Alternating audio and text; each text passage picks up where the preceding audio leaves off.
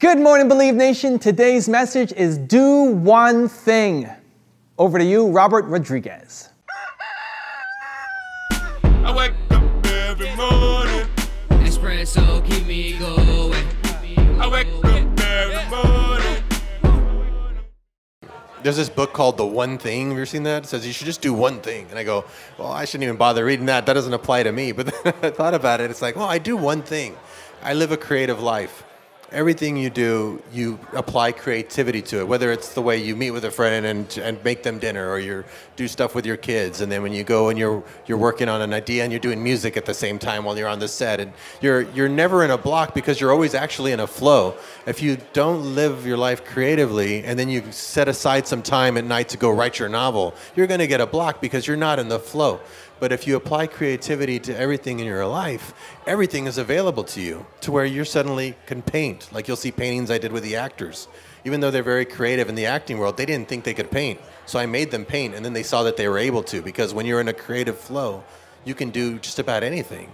So it's all about living a creative life to where you can't possibly ever get blocked because you're always Uh, okay, well, I'm not, I have an idea for writing, so I'm going to go cook something, which is art you can eat, you know, and you're serving it, and you're eating it, and consuming it, and you're creating, and you go back and you do that. Does that make sense? It's almost Yeah, like- there's no- it's there's no structured boxes there's no- around There's it. no, It's like you the know, lifestyle. delineation between work and play. It's all play. This is why it's so important to find your one word. Because it's not just about doing one thing, one task, it's about living one way, your way, on purpose, and knowing what that is. So if I look at this clip as an example, Robert's one word is likely creative, right? He wants to be creative, he wants to live in a creative way. It's not just doing one task all day long, but doing creative work all day long. That's where he comes alive.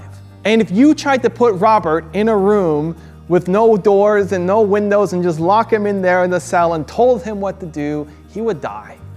If you starved all the creativity out of him and forced him to do something, he would hate it. He would struggle. Nobody would know who he was. And that's most people. Most people have no idea who they are and are stuck in a box that somebody else has made for them. And they don't know how to get out. They don't know what their one word is. They don't know how to break free. They don't know how to design a life on purpose. It's why it's so important to understand what the one word is for you that now you can create something and design it a life and a business around what you want to do. So let's look at creativity. Let's look at Robert a little bit more. All the people that he surrounds himself with should be people who help him be more creative. All the content that he consumes on a daily basis. I don't know what his habits are. Is he reading books? Is he watching YouTube videos? Is he checking out the news? Is he going to theaters? Is he going to the movies? Like the content that he consumes should make him feel more creative his daily habits and rituals, whatever that looks like. Whether it's meditation or doing yoga or you know watching some YouTube videos, watching an espresso in the morning, those things should be designed to help him be more creative. And so once you understand what the one word is for you, what the one way is for you, when you figure that out, then you look at your life. You look at what your typical weekly schedule looks like. You look at the things that you're consuming on a daily basis. You look at the people that you're hanging around with constantly. And how many of those people, activities, and things help that one way, help that one word come out of you? And for a lot of people at the start, it's a really sobering experience. For a lot of people, like if you're unhappy with your life, if you feel like you have a huge ceiling and you're not anywhere close to reaching your potential, it's because a lot of the people, things, and habits that you have on a daily basis are not coming out. They're suppressing you, they're keeping you in your box.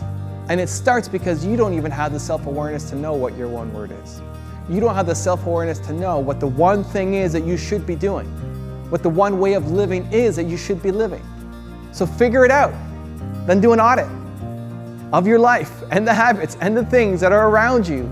Say, does this help me believe more or create more or care more? It's the unlock. It gives you certainty, it gives you clarity, it gives you power, and it lets you do amazing things. So the question today today is I'm curious what is the one way that you want to live? What is the one word core value for you? And once you figure that out, what's one thing that you need to start changing? What's the one thing in your life that does not support you being creative or believing or caring more? And you need to eliminate that from your life. Super curious to find out. Leave it down in the comments below and we'll join in the discussion. I also want to give a quick shout out to Peter OG. Peter, thank you so much for picking up a copy of my book, Your One Word. I really, really, really appreciate the support. Thank you guys so much for watching. I believe in you. I hope you continue to believe in yourself and whatever your one word is. And I'll see you again tomorrow morning for another shot of Entspresso. I wake up every morning. Entspresso keep me going.